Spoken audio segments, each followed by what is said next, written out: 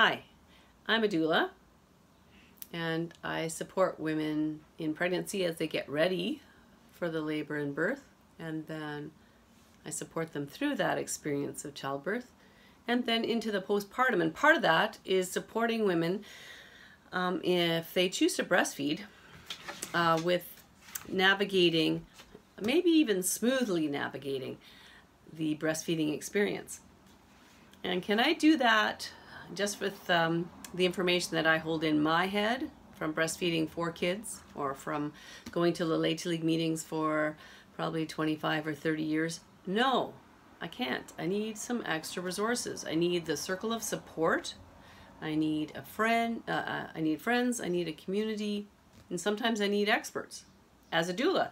And that's the same for our clients. So that's something I always tell them. You don't need to do it alone.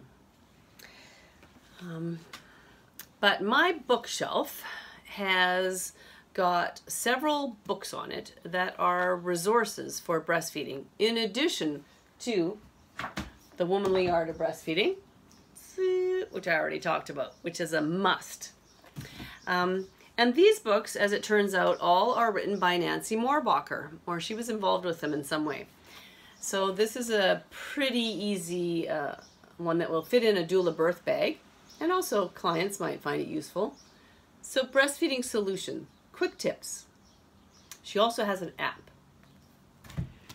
Then breastfeeding made simple. This is such an interesting book. Really changed my understanding of things because um, uh, about the management and how we think we have to manage the baby and manage the nipple.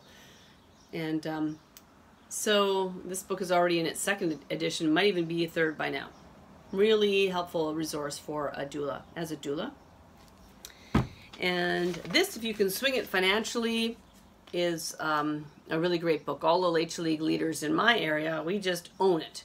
Because um, if you hear your client and she's talking about some experience, say like thrush.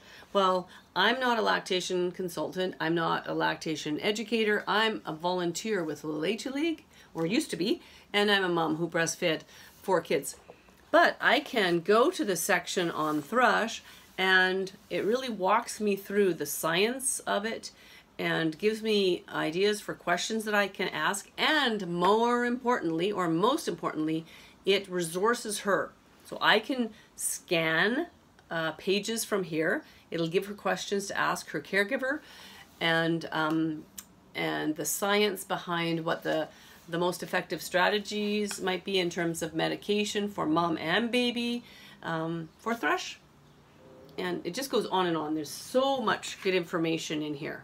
So um, breastfeeding answers made simple. Again, edited by Nancy Mohrbacher. So as a doula, you don't have to know it all. But you know, it really is helpful if you know where to get it. And in the beginning, I asked other more senior doulas, of course, and um, and it's good to have apps, websites, and excellent books that you can use.